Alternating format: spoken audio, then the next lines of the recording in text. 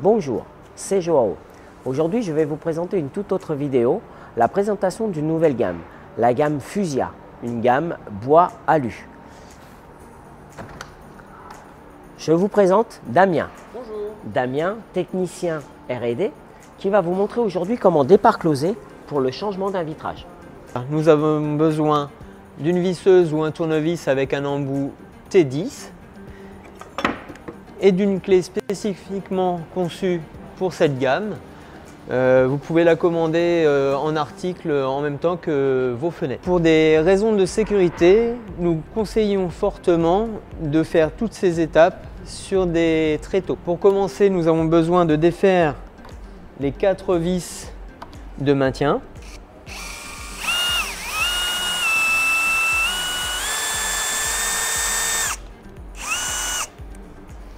Ensuite, avec l'outil, on vient se mettre dans l'usinage prévu à cet effet et on vient faire levier pour enlever la part close. Ensuite, on va enlever les montants en mettant l'outil à l'intérieur de la part close et pareil, faire levier.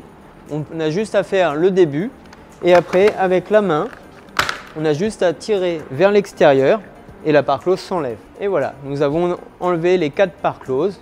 On peut enlever le vitrage, remettre le nouveau, puis on va repart closer et on refait le chemin inverse en commençant par celle qu'on a enlevée en dernier.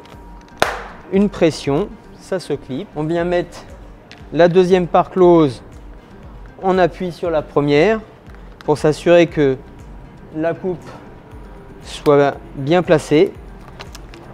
On vient faire une pression avec la paume de la main jusqu'à entendre le clic. On vient mettre la traverse et la dernière par close, le montant. Et voilà, il n'y a plus qu'à visser les vis